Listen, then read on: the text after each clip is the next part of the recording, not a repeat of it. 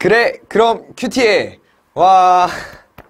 중등문 고등부 친구들 안녕하세요. 오늘도 전도사님과 함께 2023년 새해 첫 그래 그럼 큐티의 시간을 가져보려고 해요.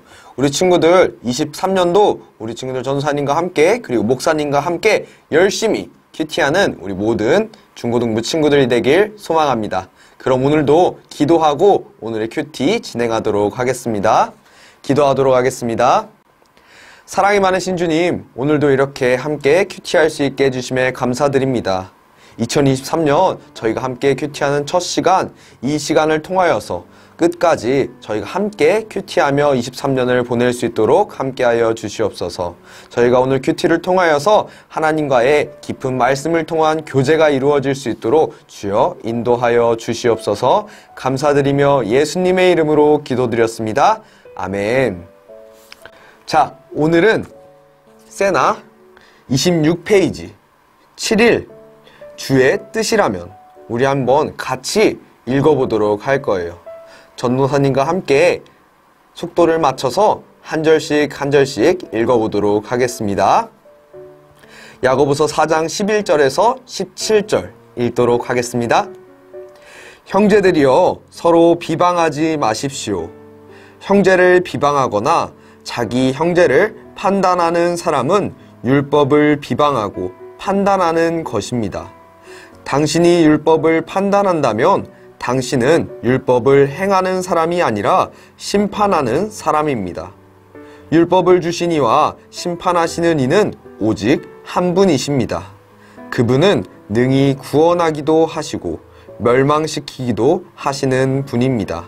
그런데 이웃을 판단하는 당신은 누구입니까?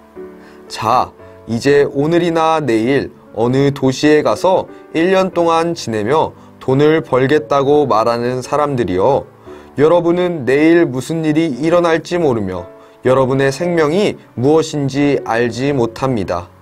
여러분은 잠깐 있다 없어지는 안개입니다. 그러니 여러분들은 주의 뜻이면 우리가 살기도 하고 이런저런 일을 할 것이다 라고 말하십시오. 그런데 여러분은 교만한 마음으로 자랑합니다. 이러한 자랑은 모두 악한 것입니다. 그러므로 누구든지 선을 행할 줄 알면서도 행하지 않으면 이것은 죄를 짓는 일입니다. 아멘. 우리 친구들, 오늘의 말씀을 잠깐 화면을 멈추고 줄을 그어가며 동그라미를 쳐가며 총 세 번 읽어볼 거예요. 우리 친구들 화면을 멈추고 읽은 뒤 다시 만나도록 하겠습니다. 친구들, 말씀을 다 읽어봤나요? 우리는 2023년 첫 말씀으로 야고보서를 묵상하고 있습니다. 이 야고보서는 야고보의 지혜와 유산이 담긴 말씀입니다. 그중 2장에서 5장은 예수님께 전신으로 헌신하라는 그 12가지의 가르침이 기록되어 있습니다. 그렇다면 오늘 우리의 본문 말씀인 4장은 어떤 가르침을 통해 예수님께 헌신하라고 말하고 있나요? 4장을 통해 야고보는 형제 또한 자매들에게 판단하거나 비방하지 말라고 하고 있습니다. 그 이유는 무엇일까요? 예수님께서는 우리에게 주신 율법에 예수님께서 우리에게 주신 율법에 반하는 행동이기 때문입니다.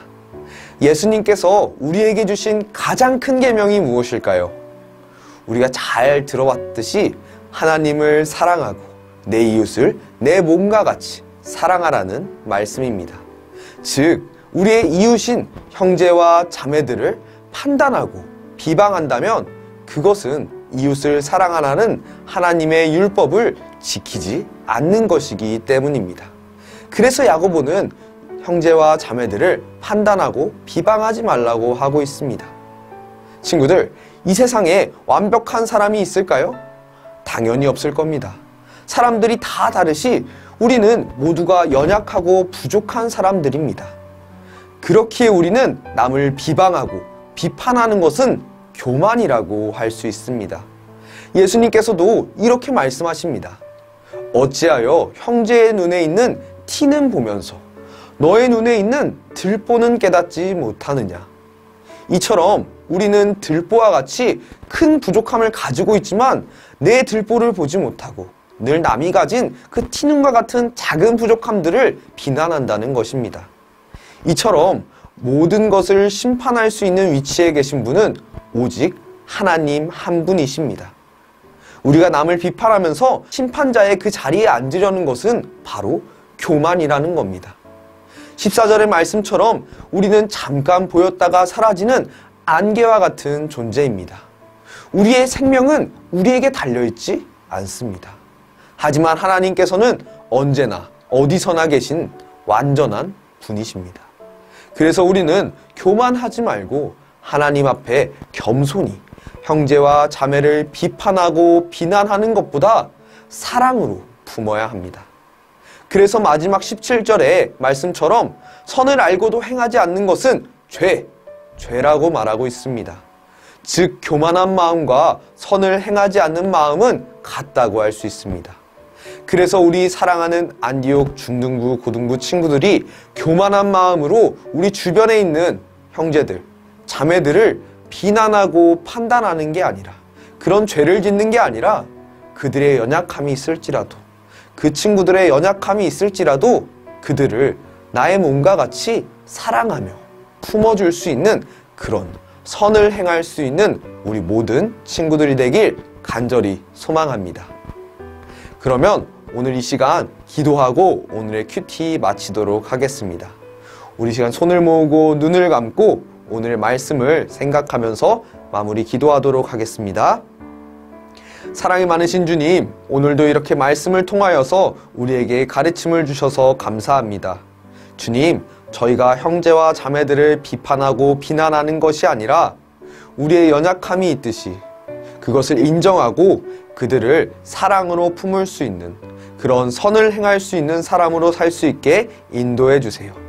그래서 2023년 저희가 이 말씀을 붙들고 이 말씀관을 함께하며 살아갈 수 있도록 은혜 베풀어 주세요.